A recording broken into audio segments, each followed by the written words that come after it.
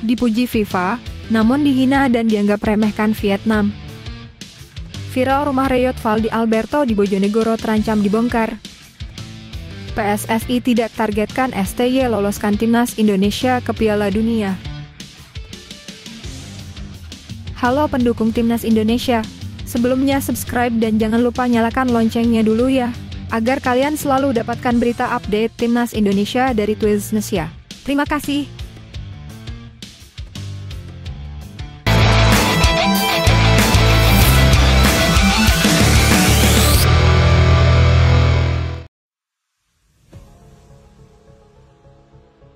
Vietnam U19 disebut bakal mendatangkan pemain keturunan Eropa seperti yang dilakukan timnas Indonesia U19 demi raih gelar juara di Piala AFF U19 2024.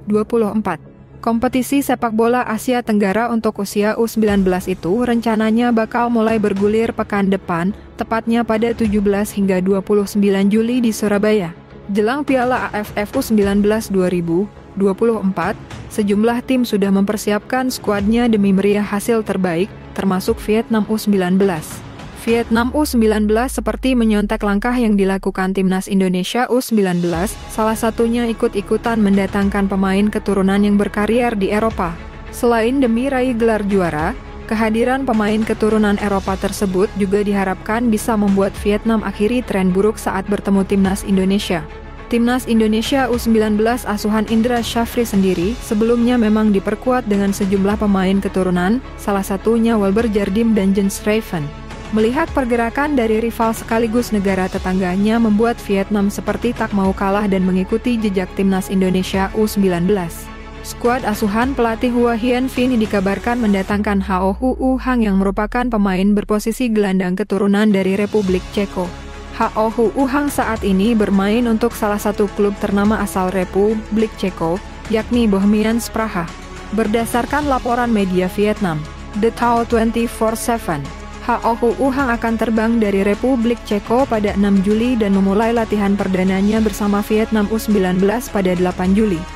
Setibanya di Vietnam dan melakukan pemusatan latihan bersama skuad asuhan pelatih Hua Hien Phin, Pemain keturunan Republik Ceko itu menyambutnya dengan antusias. Pemain berposisi sebagai gelandang itu belum sepenuhnya beradaptasi dengan kondisi cuaca dan masih menyesuaikan dengan gaya permainan Vietnam yang berbeda. Media Vietnam nyinyir saat timnas Indonesia mendapat pujian khusus dari FIFA usai lolos ke putaran ketiga kualifikasi Piala Dunia 2026. Seperti apa? Lolosnya timnas Indonesia ke putaran ketiga kualifikasi Piala Dunia 2026 mendapat sorotan dari FIFA dan publik Vietnam. Baru-baru ini, FIFA melalui laman resminya berkomentar mengenai kesuksesan timnas Indonesia lolos dari putaran kedua kualifikasi. Pujian pun dilontarkan, timnas Indonesia dinilai memiliki kombinasi unik antara pemain muda dan pemain berpengalaman.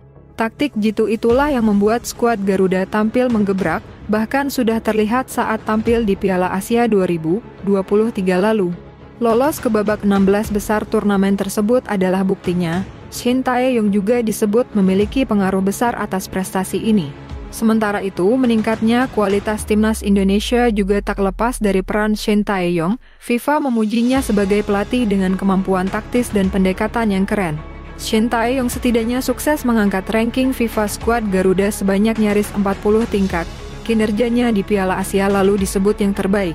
Publik Vietnam yang melihat pujian FIFA untuk timnas Indonesia dan Shin Tae-yong di atas hanya bisa memberikan nyinyiran. Tathao 24/7 mengakui timnas Indonesia baru saja mencatat pencapaian luar biasa, namun kesialan juga menimpa skuad Garuda di saat yang sama yakni masuk ke grup maut putaran ketiga kualifikasi Piala Dunia 2026 bersama Jepang, Australia, Arab Saudi, Bahrain, dan Cina. Media Vietnam ini menilai timnas Indonesia sebagai tim yang dianggap terlemah di putaran ketiga kualifikasi Piala Dunia 2026.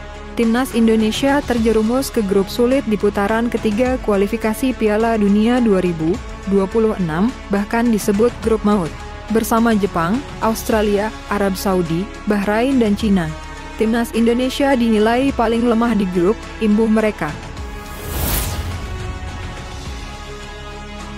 Timnas Indonesia diyakini bakal mampu bersaing dengan tim-tim raksasa di putaran ketiga kualifikasi Piala Dunia 2026 zona Asia. Keyakinan itu dilontarkan oleh Erwan Hendarwanto. Pada fase ini, Timnas Indonesia tergabung di grup C bersama Cina, Bahrain, Jepang, Arab Saudi, dan Australia. Dua tim teratas lolos ke Piala Dunia 2026 peringkat 3 dan 4 lanjut ke putaran keempat. Menilik peringkat, timnas Indonesia tertinggal cukup jauh dari empat rival lainnya yang menempati posisi 90 besar dunia. Sementara Garuda cuma berada di urutan 134 ranking FIFA. Melihat fakta tersebut, perjalanan Garuda untuk mewujudkan mimpi mentas di Piala Dunia 2026 tidaklah mudah. Butuh usaha ekstra keras dari elemen tim untuk mencapai target yang dibidik. Tidak ada yang tidak mungkin dalam sepak bola. Erwan Hendarwanto meyakini hal itu. Menurutnya, segala hal bisa terjadi karena bola itu bundar. Asal ada kemauan, asisten pelatih PSIM Yogyakarta itu optimistis timnas Indonesia bisa melewati ujian tersebut. Meskipun berat dalam sepak bola apa saja bisa terjadi. Dan menurut saya apa yang sudah dilakukan oleh Ketum PSSI dan Coach Shin Tae-yong sendiri selama ini cukup sukses dengan merubah pola pikir kita bahwa siapa pun lawan yang dihadapi yakin bahwa timnas kita mampu bersaing dan bisa menang. Kata pelatih asal Magelang, Jawa Tengah itu. Babak ketiga kualifikasi Piala Dunia 2026 zona Asia akan memainkan 10 pertandingan dimulai sejak 5 September 2024 hingga 10 Juni 2025 dengan format home away.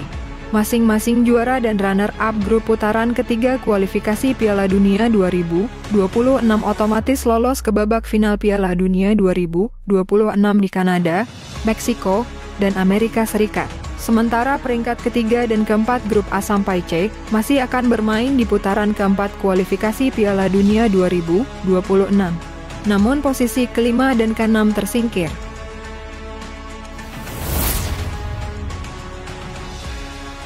Pemain timnas Indonesia dan Swansea City, Nathan Chu Aon, dikabarkan tengah diminati oleh beberapa tim Eropa. Kabar tersebut disampaikan oleh Wales Online pada 26 Juni 2024 lalu. Sebagai informasi, Nathan Chu Aon tidak bermain semenit pun untuk Swansea City pada musim lalu. Hal tersebut membuatnya dipinjamkan ke SC Heerenveen pada paruh musim. Situasi tersebut membuat masa depan Nathan Chuaon bersama Swansea City masih abu-abu. Wales Online menyebut bahwa Nathan Chuaon tengah diminati oleh tiga tim Eropa. Satu tim datang dari rival satu divisi Swansea City di Championship atau kasta kedua Liga Inggris. Klub yang dimaksud adalah Oxford United. Oxford United adalah tim yang dimiliki oleh dua pebisnis asal Indonesia. Dua pebisnis yang dimaksud adalah Anindya Bakri dan Erick Thohir. Keduanya mengontrol 51% saham klub sejak September 2022 lalu. Oxford United adalah klub terbaru yang menunjukkan minat pada back Swansea City Nathan Chuaon, tulis laporan Wales Online. Klub lain yang berminat yakni pertama adalah FC Emmen. Nama tim berikutnya adalah Almere City. Meski begitu, Nama Nathan Chu Aon sebenarnya sudah muncul dalam sesi latihan pramusim perdana Swansea City. Swansea City mengunggah foto pemain 22 tahun tersebut dalam akun Instagram resminya pada 2 Juli 2024 lalu. Belum bisa dipastikan apakah unggahan tersebut bakal jadi tanda penggawa timnas Indonesia tersebut bakal masuk dalam rencana tim musim depan.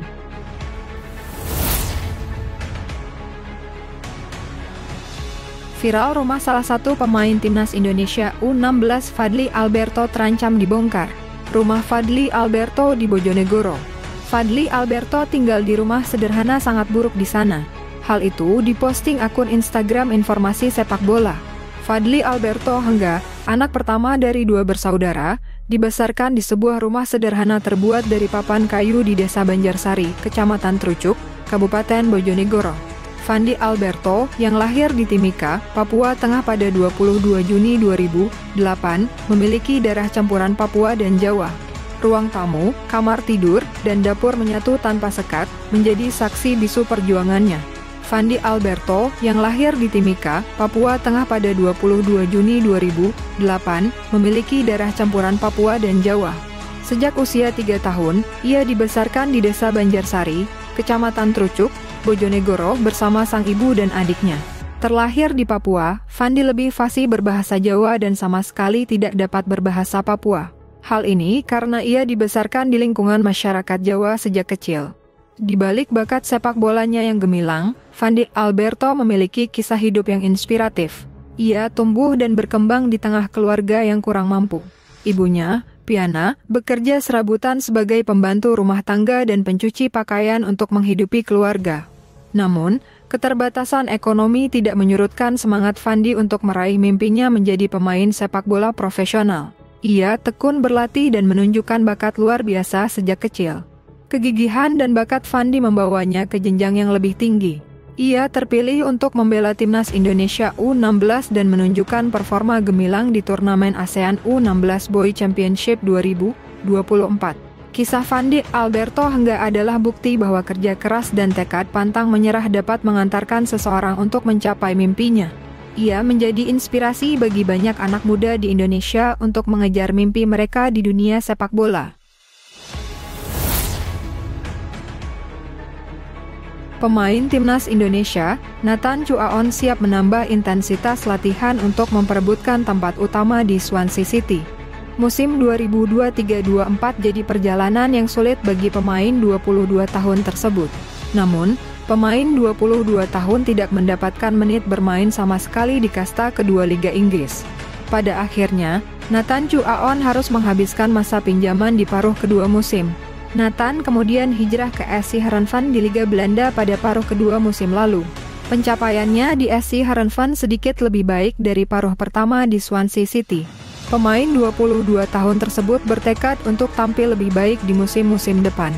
Nathan Chu Aon bakal menambah porsi latihan agar bisa berkembang lebih baik. Selain itu, ia siap merebut tempat utama di skuad Swansea City musim depan. Selain itu, saya melakukan latihan ekstra di luar latihan agar saya bisa berkembang lebih baik sebagai pesepak bola, kata Chu Aon.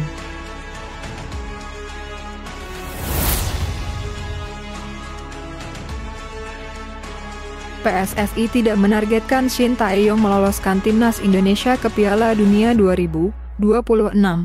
Pelatih asal Korea Selatan itu baru memperpanjang kontrak selama tiga tahun bersama Garuda. Tidak ada, ujar Arya kepada wartawan mengenai target dari PSSI ke Shin Taeyong untuk meloloskan timnas Indonesia ke Piala Dunia 2026. Lalu, bagaimana dengan target yang dibebankan kepada Shin Taeyong di timnas Indonesia untuk Piala Asia 2027? Garuda telah lolos ke turnamen 4 tahunan tersebut.